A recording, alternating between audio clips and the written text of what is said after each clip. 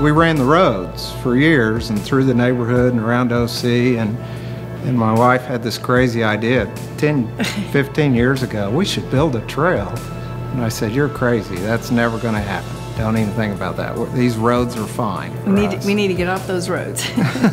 One day it came about, and it is exciting to drive by and see so many people using the trail. I have such a great memory here, and so much support, and so much of my life was directed by my time here. So to be able to have people in the community um, get on the campus and see what the school is about and maybe experience some of those same things is really important for me.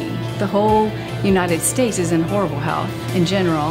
And so to be able to have this little piece of the world that, that focuses on good health and promotes good family lifestyle choices um, and being able to maybe uh, change and impact what's going on, you know, OC can do that by this Team OC concept bringing people in and changing the way you want to look at life and the way you want to live. I think it's cool. I think our, our personal lives and what we believe in is staying in shape and exercising, and I think it helps you become a more productive citizen. This morning, the last thing I wanted to do was get up and run, but I knew I'm going to feel better and be more productive today if I get out and run. And, and the hard part is getting there and taking that first step. And then from there on, it's like, wow, why was I battling this? This is great.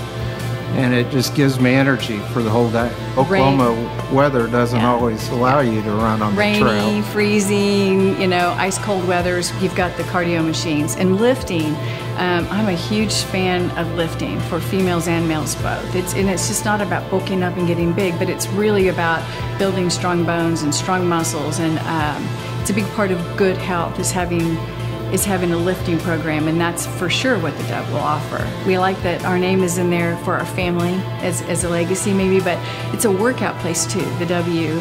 And our kids were the ones, Mom, you can't call it the W or the Wedel or something. It was our kids that said, gee, call it the Dub. I was like, okay. Supporting Team OC and the dub and the concept of activity with college kids is so important because hopefully their lifestyle says that I can't do this every day all my life, but if I do it now, then it's something that they can carry with them all their lives. And good health really, really, I believe, I, I feel like Jesus taught that to some degree too. He would heal first and then he would minister to their spiritual needs. And I think that's true for us. If we feel good physically, we're a lot more receptive and open to um, who he is and what he wants us to be doing with our lives.